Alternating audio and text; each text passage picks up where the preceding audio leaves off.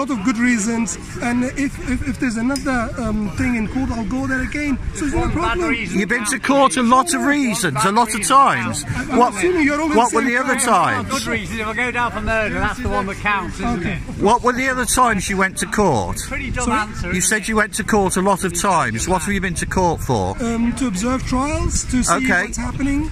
But you never, so you never went, you never, it's completely untrue that you faced, you had £11,500 confiscated from you. I had no 11,500 pound confiscated from me at all. Right. So it's a it's a false report. It's a false story. I mean, the, the, the, I mean, so you don't have to worry about it. Okay. Okay you. Okay, we've got that on tape, so that's fine.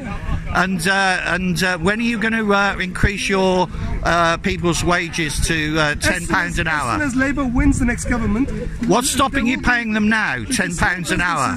Small businesses across this country, in West Bromwich as well, under a Tory government, cannot afford to pay a higher wage yet.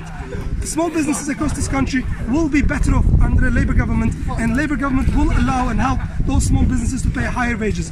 Well, they won't, will they? Because they're going to pay. You're going to pay extra tax, aren't you? You're doing it through. No, but you're doing it through limited companies, Rimad Limited, and so on. You're going to get your corporation tax is going to go up from 19 percent to 26 percent. Very good. That, is that going to help? Is that going to help you? Very good. Labour will increase the corporation tax from 19% to 26% to be able to pay for our public services. Labour will deliver that, and it will be good for our communities.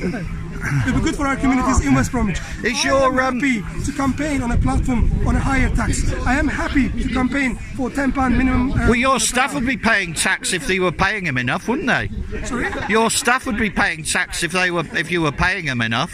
what do you mean? Well, if you you're- run a business before, Huh? do you know what, how, what it means to run a small business? Yeah. So what have you done? Yeah, What have what I've run a business since 2000. I've run my own business since 2004, What do you do? but I'm not standing as a candidate. I'm not paying people. I'm not Also, paying no, no. people minimum wage. What do you pay? Okay, I pay myself. I work Ah, for so myself. You, then you Yeah. pay, you get, okay, fine, fine. Well, of course I do. I pay myself. So Yeah. you pay yourself. Can we just Yeah. interrupt? 'Cause Just we try and get our Is that interview. okay? Well, Sorry. yeah. So yeah, well, we've got the bit. You, we just just for the record, you've never had eleven thousand five hundred or any sum of money pr- taken from you under the proceeds of thing. Not from me. Never. No, The- uh, the not from you. Not from me. The From report- who then? The report you have read is From auntie. Sorry, From your auntie. uh, I don't have an auntie, unfortunately.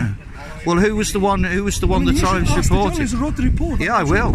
Oh, I shall. Don't worry. Get in touch and ask Yeah. Does your wife help Mrs. Corbyn with her coffee company? What do you mean? Does your wife help Mrs. Corbyn run her coffee company? Give her advice. What is that?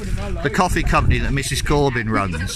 So, what is it about? No, I'm just asking you a question. I have no idea what the Yeah. question is about. Has your brother Ishmael ever sued you? I don't know what you're talking about. No? No. So that's a no. That's a definite no. Uh, it's definitely a no, I guess. Yeah. I don't know what you're talking about. Yeah. What you can tell us. Yeah. All right.